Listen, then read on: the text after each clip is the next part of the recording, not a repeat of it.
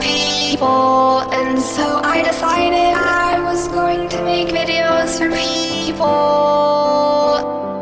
And the first one was for my friend, Admiral Awesome. Now this for